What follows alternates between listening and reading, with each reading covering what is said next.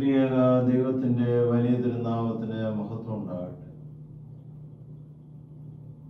നമ്മുടെ ഇഹലോക ജീവിതത്തിൽ മാനുഷികമായ ബലഹീന നിമിത്തം നാം എത്ര വിശ്വാസത്തിലോ ഭക്തിയിലോ ആയിരുന്നാലും പെട്ടെന്നുണ്ടാകുന്ന ആപത്തുകൾ അനർത്ഥങ്ങൾ ദുഃഖങ്ങൾ ദുരിതങ്ങൾ രോഗങ്ങൾ പ്രയാസങ്ങൾ പ്രതികൂല സാഹചര്യങ്ങൾ നമ്മെ തളർത്തും. നമ്മളെ വ്യസനത്തിലാക്കും. ഇവയെല്ലാം സംഭവിക്കുന്നത് ലോകത്തിൽ സാധാരണയാണ്. അതുകൊണ്ടല്ലേ ഭക്തൻ പാടുന്നത്? രോഗങ്ങളോരോന്നും പെട്ടെന്നുള്ള ആപത്തും കഷ്ടം മനുഷ്യർ കൂക്ഷോണിതാലേ രോഗങ്ങളോരോന്നും പെട്ടെന്നുള്ള ആപത്തും കഷ്ടം മനുഷ്യർ കൂക്ഷോണിതാലേ നമ്മുടെ ജീവിതത്തിൽ എപ്പോഴാണ് ഒരു ഷോക്ക് ഉണ്ടാകുന്നതെന്ന് അറിയത്തില്ല. അപ്പോൾ വിശ്വാസമാകുന്ന ഷോക്ക് അബ്സോർബർ നമുക്കുണ്ടെങ്കിൽ നമുക്ക് ആശ്വാസം കണ്ടെത്താൻ സാധിക്കും. വിശ്വാസത്തിന്റെ ആഴമനുസരിച്ചാണ് ആശ്വാസം നമുക്ക് ലഭിക്കുന്നത്. ആകയാൽ ദൈവത്താൽ തിരഞ്ഞെടുക്കപ്പെട്ട പ്രവാചകന്മാർ ദൈവഭക്തരൊക്കെ ആയിട്ട് പോലും പല പ്രയാസങ്ങളും പ്രതികൂല സാഹചര്യങ്ങളും വരുമ്പോൾ തളർന്നു പോയിട്ടുണ്ട്. ഏറ്റവും നീതിമാനായ ഇയോബിനെ കുറിച്ച് ദൈവം തന്നെ സാക്ഷ്യപ്പെടുന്നുണ്ട്. ഇയോബിന്റെ പുസ്തകം ഒന്നാം അധ്യായം ഒന്നാം വാക്യത്തിൽ ഇപ്രകാരമുണ്ട്. അവൻ നിഷ്കളങ്കനും നേരുള്ളവനും ദൈവഭക്തനും ദോഷം വിട്ടകലുന്നവനും ആയിരുന്നു. രണ്ടാം അധ്യായം മൂന്നാം വാക്യത്തിൽ ദൈവം നമ്പുരാൻ സാത്താനോട് പറയുന്ന ഇപ്രകാരമാണ്. യഹോവ സാത്താനോട് എന്റെ ദാസനായ യോവിന്റെ മേൽ നീ ദൃഷ്ടി വെച്ചുവോ? അവനെപ്പോൾ നിഷ്കളങ്കനും നേരുള്ളവനും ദൈവഭക്തനും ദോഷം വിട്ടകലുന്നവനും ഭൂമിയിൽ ആരുമില്ലല്ലോ. ഇത്രയുമായിട്ട് പോലും യോവിന്റെ ജീവിതത്തിൽ തന്റെ ആരോഗ്യം മുഴുവൻ പോയി രോഗം ബാധിച്ചു. തന്റെ പത്ത് മക്കൾ ഒറ്റ ദിവസം മരിച്ചു. തന്റെ സമ്പത്തെല്ലാം നഷ്ടപ്പെട്ടു. പ്രിയപ്പെട്ട ഭാര്യ തന്നെ നീതിമാനാണെന്ന് കരുതിയ സ്നേഹിതന്മാർ താൻ നീതിമാനല്ലെന്ന് പറഞ്ഞ് വിട്ടുപോയി. തന്റെ പേരും പെരുമയും പ്രശസ്തിയും എല്ലാം നഷ്ടപ്പെട്ടു. എന്നാൽ ഈയോവൻ നഷ്ടമാകാഞ്ഞത് തന്റെ ഭക്തിയും ദൈവത്തിലുള്ള വിശ്വാസവും ആശ്രയം മാത്രമാണ്. ആകയാൽ അവസാനത്തോളം ഉറച്ചെന്ന് രക്ഷപ്പെടുന്ന പോലെ യോബിന്റെ അന്ത്യം ദൈവം നമ്മെ ശ്രേഷ്ഠമാക്കി തീർത്തു. യോബ് അപ്പോഴാണ് സാക്ഷിക്ക് നാൽപ്പത്തിരണ്ടാം അധ്യായം അഞ്ചു ആറ് വാക്യങ്ങൾ നാം വായിക്കുന്നു എനിക്ക് നിന്നെക്കുറിച്ച് ഒരു കേൾവി മാത്രമേ ഉണ്ടായിരുന്നുള്ളൂ. ഇപ്പോഴോ എന്റെ കണ്ണുകൊണ്ട് നിന്നെ കണ്ടിരിക്കുന്നു. എനിക്ക് നിന്നെക്കുറിച്ച് ഒരു കേൾവി മാത്രമേ ഉണ്ടായിരുന്നുള്ളൂ. ഇപ്പോഴോ എന്റെ കണ്ണുകൊണ്ട് ഞാൻ നിന്നെ കാണുന്നു. ആകയാൽ ഞാൻ എന്നെ തന്നെ വെറുത്ത് പൊടിയിലും ചാരത്തും കിടന്ന് അനുദവിക്കുന്നു. ആകയാൽ നമ്മുടെ ഈ യോഗമുള്ള പ്രയാസങ്ങളും പ്രതികൂല സാഹചര്യങ്ങളും നാം അവസാനത്തോളം ദൈവത്തിൽ ആശ്രയിച്ച് പിടിച്ചു നിന്നാൽ സത്യ അനുതാപവും ദൈവദർശനവും നമുക്കുണ്ടാകും. ദൈവത്തെ അടുത്തറിയുന്നതിനും ദൈവത്തെ കാണുന്നതിനുള്ള അവസരമാണ് ഇതെല്ലാം തരുന്നത്. ഹൃദയം നുറങ്ങുന്നവനെ യഹോവ സമീപസ്ഥൻ മനസ്സ് തകർന്നവരെ അവൻ രക്ഷിക്കുന്നു. ആകയാൽ പ്രയാസങ്ങളുടെ നടുവിൽ പ്രതികൂല സാഹചര്യങ്ങളുടെ നടുവിൽ രോഗത്തിന്റെയും ദുഃഖത്തിന്റെയും മാരകമായ രോഗത്തിന്റെയൊക്കെ നടുവിൽ ഹൃദയം നുറങ്ങി ദൈവത്തിന്റെ സാന്നിധ്യം അടുത്തറിയുവാനും ദൈവത്തെ കാണുവാനുമുള്ള അവസരമാണ് നമുക്ക് ലഭിച്ച് ലഭിക്കുന്നത്. ദൈവത്താൽ വിളിക്കപ്പെട്ട യോനാ പ്രവാചകൻ തണലിന് വേണ്ടി തനിക്ക് തന്റെ തലയ്ക്ക് മീതെ ദൈവം ആക്കി വെച്ച ആവണ കുണങ്ങിയപ്പോൾ താൻ വ്യാകുലനായി വ്യസനിക്കുന്നു താൻ കോപിക്കുന്നു. നമ്മുടെയൊക്കെ ജീവിതത്തിലും കൊച്ചു കൊച്ചു പുഴുക്കൾ നമ്മെ കൊത്തും. മാരകമായ രോഗാണുക്കൾ നമ്മൾ വന്നിരിക്കും. എന്നാൽ തളരാതെ വാടാതെ വ്യസനിക്കാതെ ദൈവത്തിൽ ആശ്രയിച്ചു പോവുകയാണെങ്കിൽ സമാധാനത്തോടെ നമുക്കവയെ നേരിടുവാനായിട്ട് സാധിക്കും. നാം ഇപ്രകാരം വായിക്കൊണ്ട് ഏഷ്യ പ്രവചനം മുപ്പത്തിയെട്ടാം അധ്യായത്തിൽ ഇപ്രകാരം നാം വായിക്കുന്നുണ്ട്. എന്റെ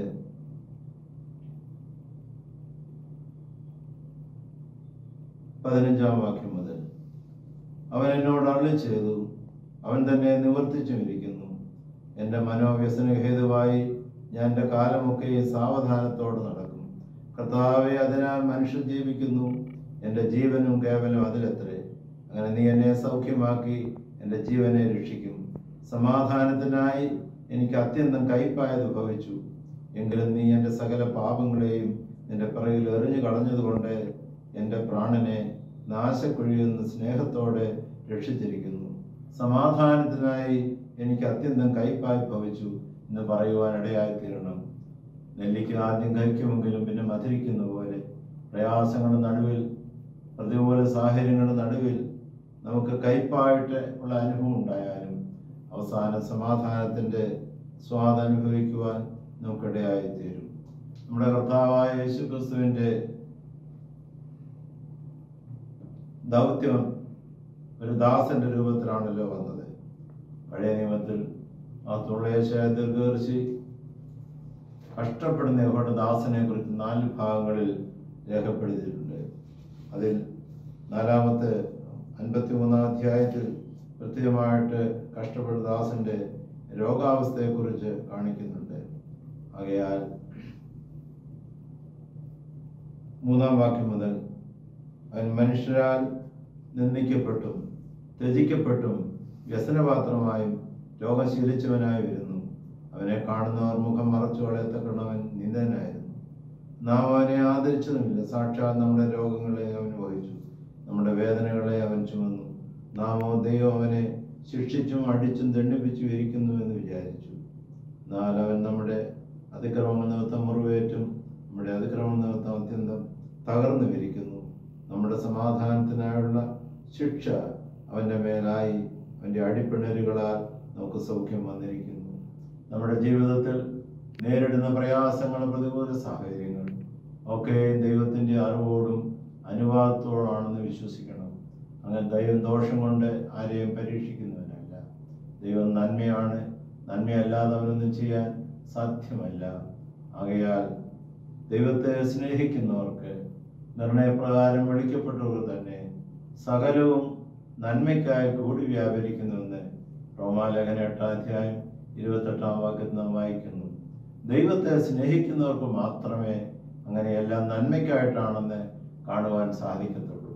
നാം ദൈവത്തെ സ്നേഹിക്കുന്നെന്ന് വാക്കുകൊണ്ട് പറയുമ്പോഴും ഇതുപോലുള്ള പ്രയാസങ്ങൾ വരുമ്പോൾ നമ്മുടെ നന്മയ്ക്കായിട്ടാണെന്ന് വിശ്വസിക്കാൻ സാധിക്കുന്നില്ലെങ്കിൽ നാം ദൈവത്തെ സ്നേഹിക്കുന്നു എന്ന് കേവലം വാക്കുകൾ കൊണ്ട് മാത്രം പറയുന്നവരായി തീരും യഥാർത്ഥമായ ദൈവത്തെ സ്നേഹിക്കുമ്പോൾ ദൈവം നമുക്ക് നൽകി തരുന്നതെല്ലാം നന്മയ്ക്കായിട്ടാണെന്ന് വിശ്വസിക്കുവാനും അനുഭവിക്കുവാനും ഇടയായിത്തീരും.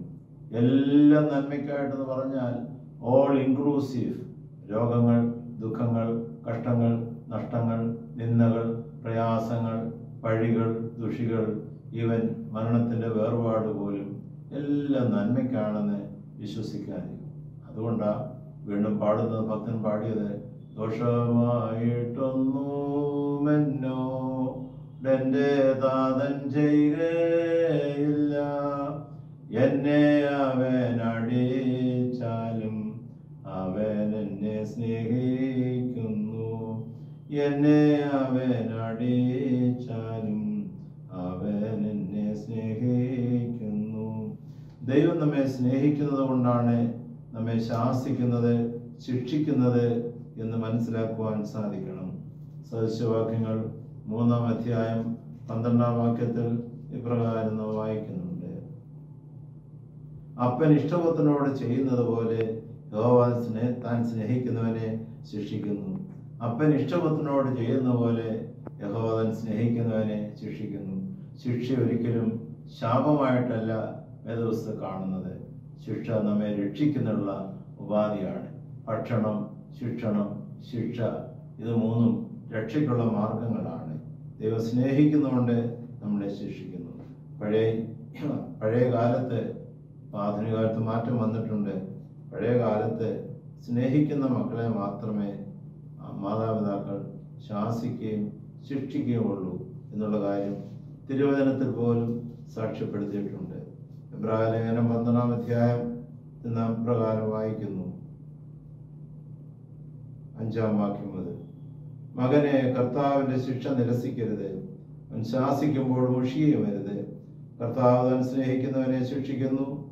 താൻ കൈക്കൊള്ളുന്ന ഏത് മകനെയും തല്ലുന്നു. എന്നിങ്ങനെ മക്കളോടെന്ന പോലെ നിങ്ങളോട് സംവാദിക്കുന്ന പ്രബോധനം നിങ്ങൾ മറഞ്ഞു കളഞ്ഞു മറന്നു കളഞ്ഞു നിങ്ങൾ ബാലശിക്ഷ സഹിച്ചാൽ ദൈവം മക്കളോടെന്ന പോലെ നിങ്ങളോട് പെരുമാറുന്നു. അപ്പൻ ശിക്ഷിക്കാത്ത മകൻ എവിടെയുള്ളൂ? എല്ലാവരും പ്രാപിക്കുന്ന ബാലശിക്ഷ കൂടാതിരിക്കുന്നെങ്കിൽ നിങ്ങൾ മക്കളല്ല കൗലടയന്മാരത്രേ. നമ്മുടെ ജഡസംബന്ധമായ പിതാക്കന്മാർ നമ്മെ ശിക്ഷിച്ചപ്പോൾ നാം അവരെ വണങ്ങിപ്പോന്നുവല്ലോ. ആത്മാക്കളുടെ പിതാവിനെ ഏറ്റവും അധികമായി കീഴടങ്ങി ജീവിക്കേണ്ടതല്ലയോ? അവർ ശിക്ഷിച്ചത് കുറെ കാലത്തേക്ക് തങ്ങൾക്ക് ബോധിച്ച പ്രകാരം അത്രേ അവനോ നാം അവന്റെ വിശുദ്ധി പ്രാപിക്കേണ്ടതിന് നമ്മുടെ ഗുണത്തിനെ തന്നെ ശിക്ഷിക്കുന്നു. അഞ്ചാം വാക്യം മുതൽ പത്താം വാക്യം വരെ ദൈവം നമുക്ക് ശാസിക്കുകയും ശിക്ഷിക്കുകയും ചെയ്യുന്നത് നമ്മുടെ വിശുദ്ധിക്കും നമ്മുടെ ഗുണത്തിനും വേണ്ടിയാണ് എന്നുള്ള കാര്യം പ്രത്യേകമായിട്ട് ഓർക്കണം. അങ്ങനെയാണെങ്കിൽ അവസാനത്തോട് നിന്ന് രക്ഷപ്പെടുവാൻ സാധിക്കും.